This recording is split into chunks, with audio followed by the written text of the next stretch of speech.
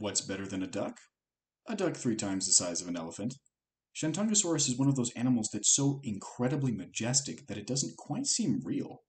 It's one of the largest terrestrial animals of all time, and perhaps the most massive non-sauropod dinosaur. While China has revealed more than its fair share of beautiful and unique fossils, especially in recent years, Shantungosaurus stands head and shoulders above the crowd. Mighty Duck lived in late Cretaceous China, in what is now the Shandong province. Five incomplete skeletons were discovered in 1973, all of varying sizes. Several specimens were briefly assigned to the now invalid Zhuchengosaurus, but later revealed to simply be growth stages of Shantungosaurus. Kind of awkward, but it happens. You can ask Jack Horner about it. And no, this video's title isn't clickbait. Shantungosaurus holds the distinction of being the largest biped known to science, extinct or otherwise. There's some possible exceptions with the biggest Edmontosaurus specimens, but right now, Uncle Scrooge seems like a solid bet for top dog.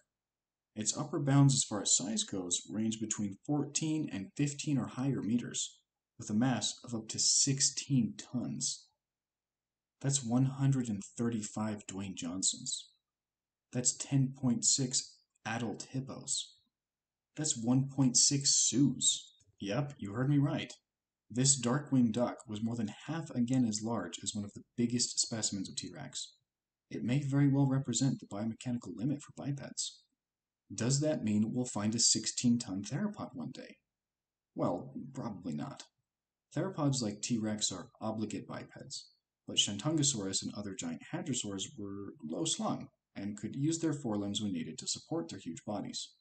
I'm not saying it's impossible, we used to think that Pteranodon was the limit for flying animals after all, and the huge azhdarchids are twice as big.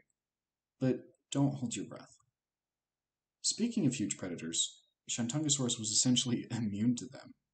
It was so much bigger than Zhusheng the four-ton tyrannosaur it rubbed elbows with, that once it reached adult size, it wouldn't need to worry about predation at all. It lived alongside a plethora of other incredible animals, including the all-powerful Micropachycephalosaurus, and even today inspires us with its majestic glory. Don't mess with the ducks, man. They'll mess back.